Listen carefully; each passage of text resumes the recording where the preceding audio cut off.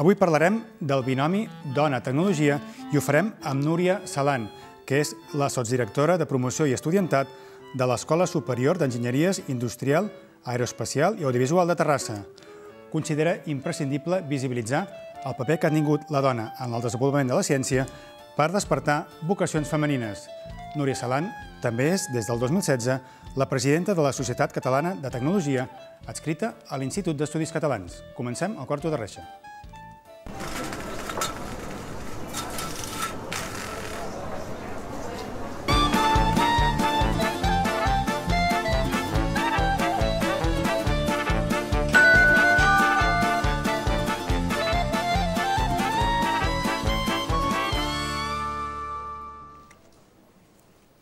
Què tal, Núria Salan, com estem? Molt bé, molt bé. Benvinguda, benvinguda a Canal Terrassa. Moltes gràcies. Escolta'm, tu ets llicenciada en Ciències Químiques en l'especialitat metal·lúrgica. Sí. Uh, estem aquí envoltats de, de reixes. Com, com ho veus, això? Són de ferro. El ferro és un material molt noble. Uh, tu ets de les que deus anar pel carrer mirant tot on hi ha ferro... Més del que et creus. Sí? Sobretot quan una peça està trencada. Jo vaig fent fotos a una peça de ferro trencada o una peça de metall trencada. Sempre trobo el moment d'ensenyar-la a classe. I per què? Perquè sóc metal·lúrgica, sóc la professora de I, i per metal·lúrgia. què ha de ser trencada? Ah, per agafar una mostra? Per... No, perquè quan està trencada, les peces trencades ens donen més informació que les sanes. De la de resistència, del... És com els cadàvers a CSI. Eh? Quan tu veus la sèrie de CSI, un cadàver diu que dona tanta informació. Doncs les peces trencades són els meus cadàvers. Se n'aprèn molt. I ets, ets de les que t'agrada, va, parlant de la forja, la, la forja aquella antiga, amb aquelles motllures, aquelles... Oh. O t'agrada la, la, la més moderna, recta, de quadrat gairebé? Jo, jo sóc simpatitzant de l'Associació de Forjadors de Catalunya i jo de tant en tant faig tallers de forja com a alumne. Col·laboro com a professora per la part teòrica, però jo algun dissabte em poso el davantal i m'embolico els cabells i pico ferro. I tinc a casa una reixa que me l'he feta jo, ja te l'ensenyaré. És més petita que el quarto teu, és un vuitè, però tinc una reixa per quan em tanquin jo ja tinc reixa. Bueno, doncs en podries, en podries fer una per aquí també. Home, doncs, a més, la forja artesana és, és una pràctica molt maca i a més he de dir que la persona que m'ensenya és una dona, la Guillermina. Ah. I cada cop per això n'hi deu haver menys, no?, de forjadors d'aquests artesanals, es deu fer tot ja gairebé industrial avui. A veure, la forja artesana s'utilitza per fer el que seria una peça customitzada, una peça de mides customitzades. I són serrallers, normalment és el gremi de serralleria. S'utilitza per fer com una peça única, una barana, o si vols, sobretot adobar, i ara, per exemple, la Sagrada Família, que es va haver d'adaptar un, un ascensor per, per l'accés de persones eh, minusvàlides, doncs la barana és una barana que és una peça única i aquesta li demanen a algú com, com la Guillermina, no? S'utilitza per coses d'aquestes. Però sí que encara es fa, eh? Encara es fa. Uh, anirem parlant de, de la teva responsabilitat a la, a la UPC. Uh, Precisament va ser coordinadora del programa de gènere de la UPC, sí. des del principi fins que no, sí. no fa gaire. Quina necessitat hi havia de crear aquest tipus de, aquest programa de, de gènere? Doncs, a veure, aquest programa quan es va crear va ser per... De quan estem parlant? De quin any? Doncs del 2011. Es va crear, tot i que des de l'any 2000, l'any 2000 va ser la primera vegada que jo vaig participar en una activitat vinculada al gènere a la Universitat Politècnica de Catalunya que va ser el, congrés de la, el primer Congrés Nacional de les Dones i l'Enginyeria que es va celebrar aquí a Terrassa i del qual vaig ser secretària. Abans d'aquest any 2000 i fins a uns anys després, jo havia col·laborat molt amb el programa Dona, que era un programa que tenia com a funció apropar la tecnologia a les noies per captar vocacions, perquè mm. veiem que teníem eh, la matrícula d'estudiantat era majoritàriament masculina i no arribàvem a les noies, no arribàvem a, a la població femenina perquè percebessin que elles també podien fer enginyeria. És com si la rebutgessin d'entrada. Llavors el que volíem era apropar la tecnologia, desmitificar aquella imatge eh, més masculina o més, eh, no voldria dir ferotge, però sí com més aspra de la tecnologia i destacar eh, tota la tasca que han fet les dones a la tecnologia i que ha contribuït a fer-la doncs, molt més amigable i, i més propera a la societat. No? Llavors el programa va, va néixer en principi per dissenyar estratègies per captar talent femení, mm -hmm. sobretot, i per garantir que cap dona a l'entorn politècnic eh, patís cap mena de discriminació, ni per promoció, de, promoció professional, es va, es va dissenyar el protocol d'assetjament, Totes aquestes coses es van fer des de la unitat de gènere. Però en ple segle XXI, ja el 2011, encara hi ha... És a dir, encara hi ha certa cert fred de les dones cap a, cap a entrar en aquest món de l'enginyeria, del món aquest més de la ciència? És a dir, amb totes les xerrades que s'han anat fent a escoles, instituts, eh, explicant les bonances de l'enginyeria, d'aquestes feines més científiques, encara avui hi ha, hi ha aquesta reticència, de, o aquesta por, no sé si és la por, de dones a, a posar-se en aquest món? M'agradaria dir-te que no. M'agradaria molt dir-te que no la hi ha, però sí que la hi ha. De bon punt, mira, quan jo estudiava, fa 35 anys, d'un grup de 15 eren dues noies. Ara tinc una assignatura de 15 persones i quan tanco la porta, dues noies i jo. Per tant, 35 anys després estem igual. Mm. Què ha passat? Doncs sospito que no hem estat capaços d'arribar al públic femení, al públic femení em refereixo a les nenes de 12, 13, 14 anys, per, perquè quedés com molt palès què és el que elles poden fer per la tecnologia. Ara diré una cosa que hi haurà qui dirà que no és políticament correcta. Quan tu li preguntes a un noi adolescent què vol ser de gran, et dirà que vol ser moltes coses, però surt el tema econòmic. Sempre volen fer el que sigui però guanyant diners. Quan li preguntes a una nena, el tema econòmic queda relegat a la tercera, quarta, quinta mm. o sisena cosa. Vull dir, mai és el primer que et posen per davant. Les nenes tenen més la, la percepció, la vocació de ser útils a la societat. Si no perceben que des de l'enginyeria poden ser útils a la societat, tiren per una vessant més social o més de ciència. Una evidència és que a Medicina hi ha més noies que nois estudiant o infermeria, o a Sociologia, o a Psicologia, sí? fins i tot a Dret, perquè tenen com molt clar que des d'allà poden ser d'utilitat. Des de l'enginyeria no perceben que poden ser tan útils. Aleshores, quan jo vaig a un institut, els destaco totes aquelles fites assolides per dones i tota aquella part, si vols, amable, que ha vingut de la mà dels equips híbrids. No m'agrada dir mixtes, mm. m'agrada més dir híbrids, perquè els homes també han fet moltes coses i molt bones. Però quan han treballat conjuntament homes i dones, ha estat quan els equips s'han donat el millor. I quan els hi dius, escolta, tu sabies que això ho havia inventat una dona? Què dius? Sí, sí, mira, i a més va salvar vides i... El Kevlar, el Kevlar mm. és la base de les armilles antipartícules i ho va inventar una dona, la Stephanie Kwolek, que li van negar el Nobel, per cert. Això sí que li van negar per ser dona, però això ja parlarem... Això, parlem, això parlarem una, un altre dia, en un altre programa. Doncs els hi destaques tot de fites assolides per dones i que gràcies a ella tenim, aquestes dones hem tingut una vida molt millor i diuen, ah, jo això també ho podria fer. Veus? Et necessitem. Així és la manera de, que tenim per captar talent femení. Després hi ha un altre fet i és la manca de referents. Si les nenes, quan estan estudiant tecnologia, el professorat que tenen és majoritàriament masculí, difícilment, quan tens 15 o 16 anys i totes les hormones, empatitzaràs amb un professor de barbes. Et caurà molt bé, però difícilment voldràs ser com aquell professor de barbes. Però si tinguessis una professora dona, encara que sigui una professora doncs, com la teva mare o com la teva àvia, potser amb aquella dona sí que pots trobar més punts en comú, no? Doncs ens falten referents, ens falta encara que hi hagi...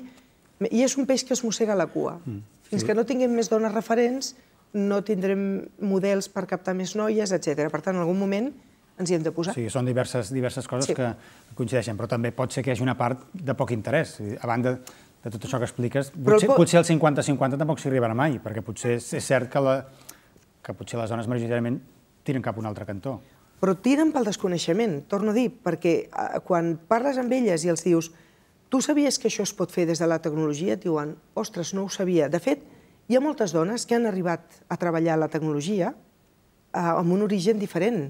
Per mm. exemple, els millors cercadors de, de Google o de buscadors, els, els millors motors de cerca, es dissenyen des de l'àmbit humanístic perquè els dissenyen persones de filologia o de, mm. de lletres, vaja, i moltes dones. I, en canvi, el disseny del protocol de com col·locar les paraules perquè la cerca després de tota la xarxa sigui eficaç, això és una aplicació tecnològica i la fa una dona, encara que tingui un origen de lletres.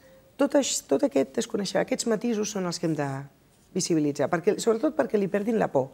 El que hem de garantir és evitar la, la tecnofòbia, Potser no desenvoluparem tecnofílies, mm. però sí evitar les tecnofòbies.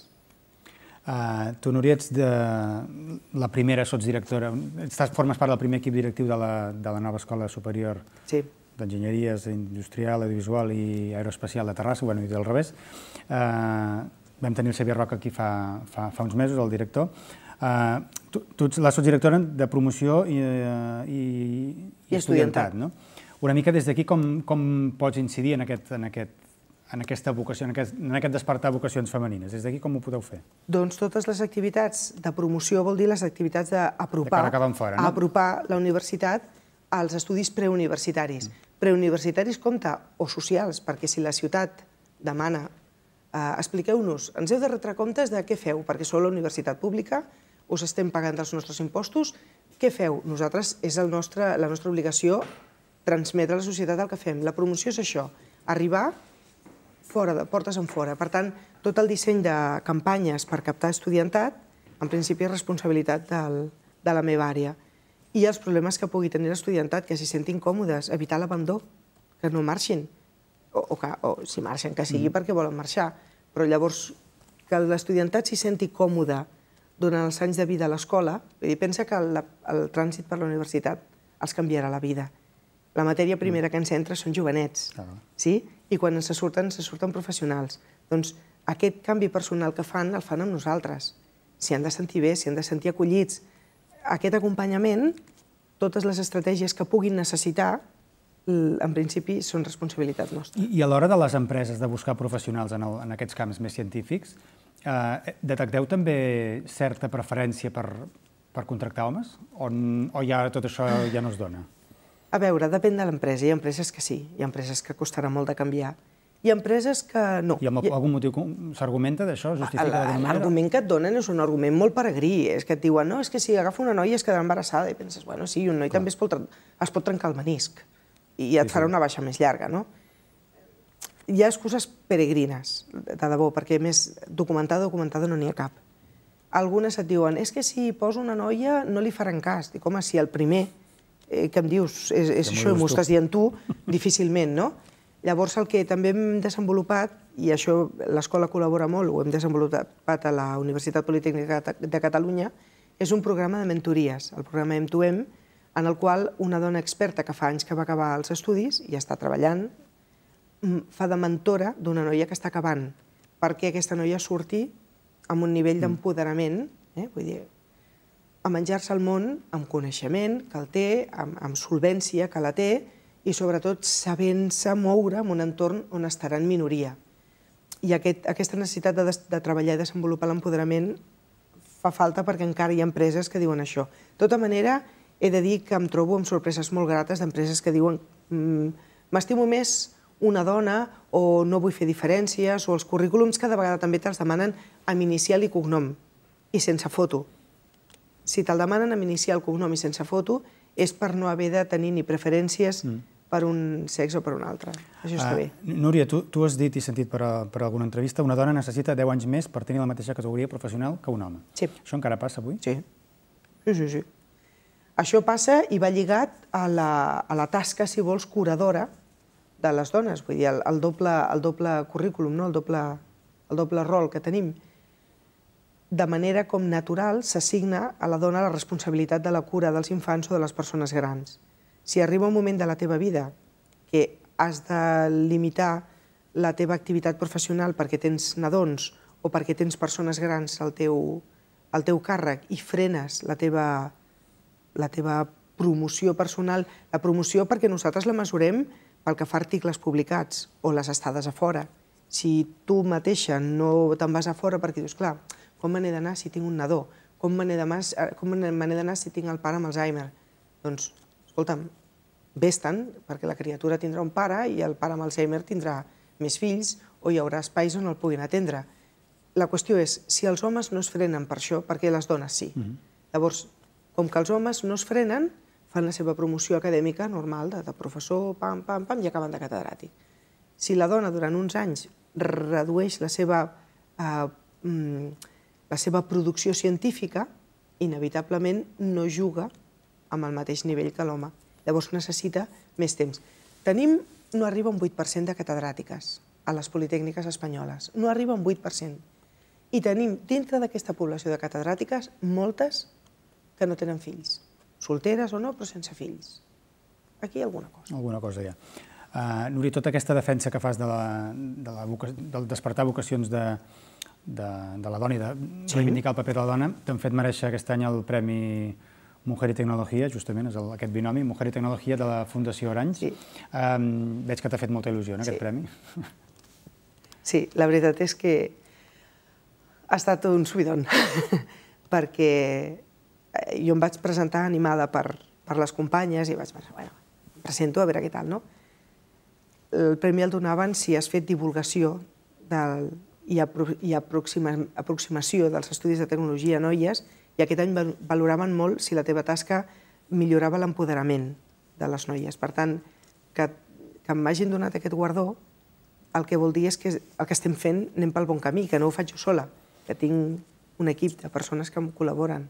Bàsicament, els dos projectes que vaig presentar va ser aquest programa de mentories, l'M2M, que el vam engegar fa uns set anys, i ara va per la quarta edició, que està molt bé. Les noies que hi participen se senten molt contentes de participar, estan satisfetes i diuen que, que els hi ha fet créixer personalment i les dones que participen com a mentores estan encantades perquè diuen que això els està ajudant a mantenir-se sense perdre la realitat, no?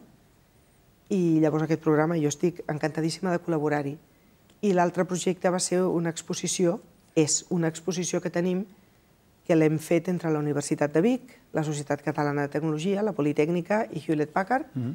que és l'exposició sobre l'enginy invisible, és a dir, fites assolides per dones mm que la societat no coneix, com la Wi-Fi o el GPS, que va, no només ho va inventar una dona, sí que la dona té nom, que era Hedy Lamar. Aquest és un altre fet. De vegades les dones fan coses de... i el titular és una dona ha fet això jo queixo, dic, no, no, el titular seria un extraterrestre ha fet això. això seria un titular. Però que ho hagi fet una dona no és titular. Les dones estem en 50-50 amb els homes, no? Llavors jo reivindico que surtin els noms, que les dones tinguin nom i cognom. Que fulana de tal, i ja es veu que és una dona, és presidenta o és directora o ha fet. Mm, sí, sí, avui en Llavors, dia... invents com eh, la fotocopiadora, el Kevlar, el neteja parabrisses, i llavors dius, això ho va fer una dona i a més tenia aquest nom. I, dius, sí? I a mm. l'exposició destaquem també com va ser la primera enginyera, com va ser la segona, i el que és sorprenent, que quan arribem a la quarta enginyera d'Espanya, ha estat companya nostra aquí a Terrassa. Ah. La quarta. Vull dir, i ha estat, aquesta ha fet classe amb mi, per tant, Eh, mm. Estem fent història i, i estem aquí fa dos dies. Eh? Uh, Núria, tu des de l'any passat, des del gener de l'any passat, ets president de la Societat Catalana de Tecnologia, sí.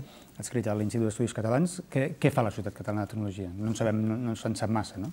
Doncs és una entitat filial. L'Institut d'Estudis Catalans, en principi, es dedica a conrear totes aquelles tasques que apropin a la societat qualsevol activitat que es faci treballant per la societat i per Catalunya. En el meu cas, vinculades a la tecnologia. Llavors, què fem nosaltres? Col·laborar amb totes aquelles entitats, ens o, o programes que vulguin fer propera la tecnologia a la societat catalana. Llavors, encara, està massa, encara està massa allunyada la tecnologia? Sí, perquè es percep com la tecnologia com una cosa com d'èlit. I de, no, no, de vegades organitzem conferències perquè algú digui no, no, eh, des de la medicina, per exemple, va venir el Manel Esteller, El Manel Esteller va explicar que sense la tecnologia ell no hauria pogut desenvolupar tots els estudis que està fent, perquè gràcies a totes les rutines que ell pot fer, té, té solucions en temps molt breu. O havia vingut un biòleg que deia que si no fos per la tecnologia que em permet fer els estudis que faig de reconstrucció neuronal del, dels ratolins amb els que estudio la motricitat, etc etc.